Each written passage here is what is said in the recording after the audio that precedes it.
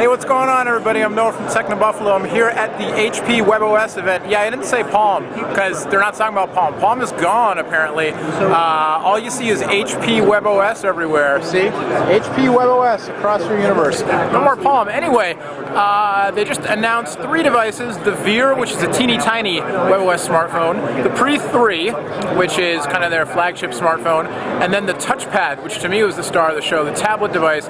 It'll ship this summer. They're not letting people touch touch it, but they are doing demos. So let's go see if we can get one.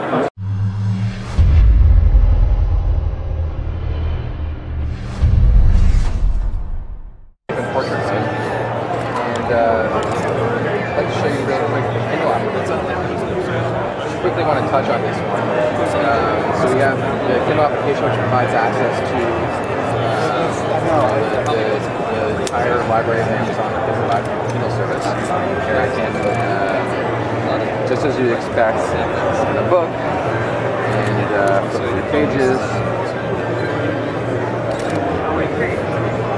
Just that easy, and that can go into card view. This supports uh, Whisper Sync, so if you... Uh, it does show two pages at the same time, yes. I'm not showing that this. Um, let me also show you a, uh, a game. So, you know, we mentioned the processing power in this. Um, so we had this um, really cool uh, flying fighter game as a demonstration of that. So it's in uh, autopilot mode, take that off. I'm not very good at this yet.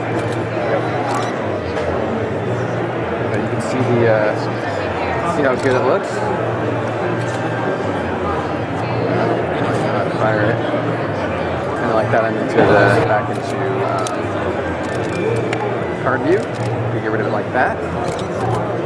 Now you might have noticed, um, since I've been showing this to you, that I got a bunch of text messages. This is another really cool feature we're showing today. Um, this does not have a phone in it, but it's connected um, with a phone I do have uh, in the station here. And so I can reply to text messages right from here.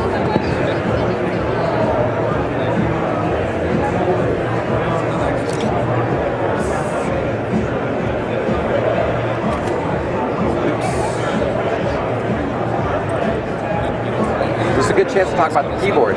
Um, you'll notice it's a five-row keyboard, so we have the numbers visible, um, and we have the symbols present. So it's much easier to type, um, uh, you know, dates and times and things like that, where you've got numbers in and characters. Not you don't have to switch back and forth a whole lot. If I press and hold here, I can change the keyboard size. So if I have smaller fingers and I'm, you know, I more prefer a small keyboard, I can do that. Um, or if I want to go big, maybe just because I want to type more, you know, I want to type like a long email or something like that, I can do that. Um, it's up to the user to decide um, which they prefer. By the way, this is how you close applications. Let me show you the, the web browser experience. So this is based on uh, the latest WebKit. Um, we have hardware acceleration and uh, we support uh, a lot of HTML5 features and uh, also Flash. So you get the web the way you're expecting it. Um, and, label that's pretty much what I have to show. So you can see um, we saw the new email application and the, the, the notification system, how it lets you power through email, thanks Susan. Um, our connected photos experience, the web browser, um, the connected SMS experience that lets you send messages um, through your touchpad.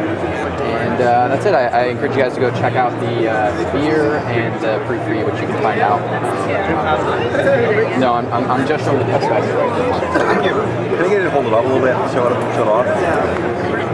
Like just go through the different menus. And, oh, the light is really, really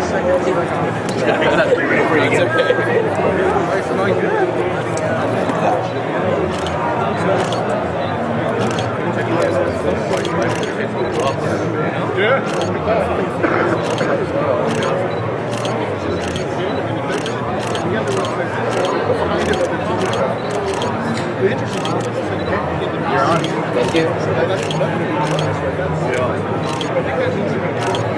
Cool. Good. Can we see the back? Uh, I'm not sure the back. Can I show the back? You're gonna, you're gonna run through that demo again, right? Do you mind if I, Does if I shoot you over here? the does the Sure. I just need a minute to reset. so if you guys give me a second. yeah? Quick question: Does the OS work in landscape mode? It I mean, it in uh, portrait rather. It does. Yeah.